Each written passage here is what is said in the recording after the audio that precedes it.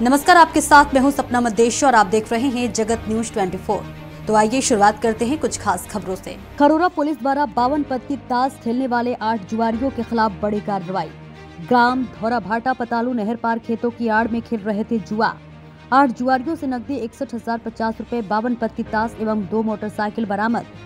Kharora police को मुखबिर से सूचना मिली कि ग्राम धौरा भाटा में पतालू नहर पार जुआरियों द्वारा बावन पत्ती ताश से रुपयों पैसों की दाव लगाकर काट पत्ती नामक जुआ खेल रहे हैं, जिस पर दबिश देकर मुखबिर द्वारा बताए स्थान पर आठ जुआरियों को बावन पत्ती ताश से काट पत्ती नामक जुआ खेलते हुए पकड़ा गया।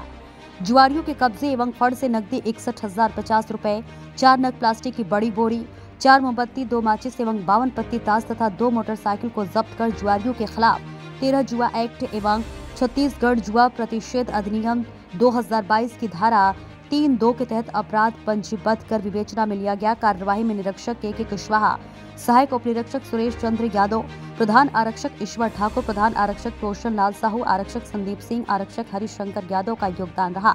जुआरियों को प्रकरण में गिरफ्तारी की गई है तथा पृथक से प्रतिबंधात्मक कार्रवाई की जा रही है। जुआरियों के नाम इस प्रकार है।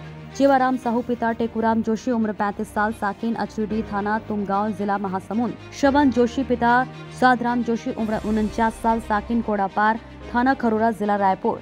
संजू कोशले, पिता सुकालू कोशले, उम्र 32 साल, साकिन कोड़ापार थाना खरोरा जिला रायपुर। छन्नू लाल साहू, पिता अमर सिंह साहू, उम्र 40 साल, साकिन अचरीडी थाना तुमगांव जिला महासमुंद।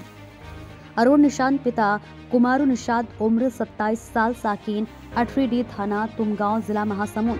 भानु प्रताप सोनवानी पिता मानसिंह सोनवानी उम्र 28 साल साकिन अचरी थाना तुमगांव जिला महासमुंद। गुनिधि साहू पिता कमल नारायण साहू उम्र 25 साल साकिन अचरी थाना तुमगांव जिला महासमुंद। पूनाराम घृत लहरे पिता सोनू राम घृत लहरे उम्र 40 साल साकिन, अरोड़ा थाना पलारी जिला बलौदाबाजार। ऐसे ही अपडेट्स के लिए देखते रहें जगत न्यूज़ 24 और हाँ हमारे चैनल को लाइक, शेयर और सब्सक्राइब करना बिल्कुल ना भूलें।